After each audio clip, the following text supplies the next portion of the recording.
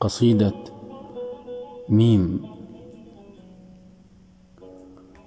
الذي لا يستطيع النوم نام. ريشة بيضاء في عش الحمام. فكرة خضراء عنها أنبأت قطرة جفت على رأس السهام.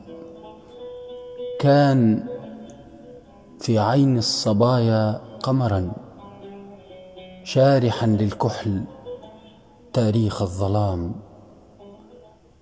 لم يكن في الغيم ما يشبهه فلماذا الرمل أسماه الغمام؟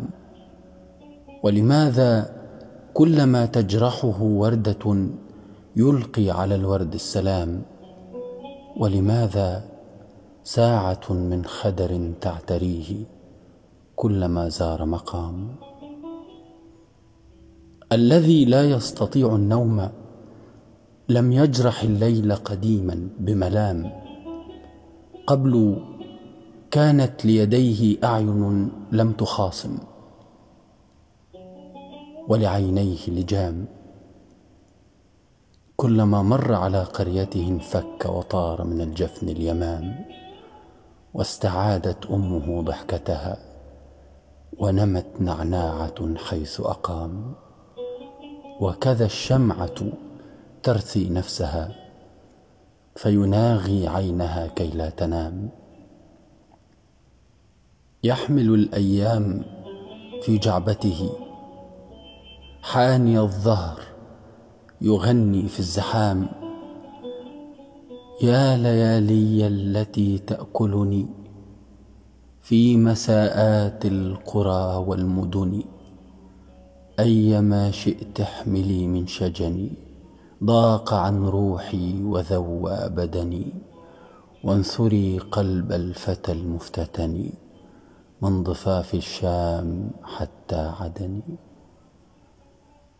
حيثما يمشي صدى يسأله ظهرك المحني هذا أم سنام؟ كعبك المبري في دق الحصى من عظام ودم أم من رخام؟ مرة في الحرب ذم الدمع حين بكى المعول قدام الحطام. مرة في البحر ألقى حكمة فاهتدى المركب والصياد هام.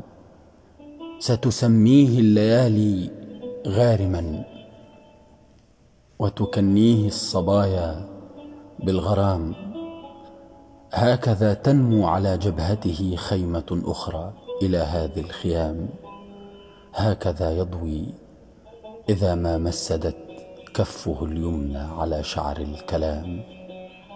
حان للأحلام أن تدخله دخلة الحجاج للبيت الحرام. حان للشمعة أن تخبو إذن فالذي لا يستطيع النوم نام.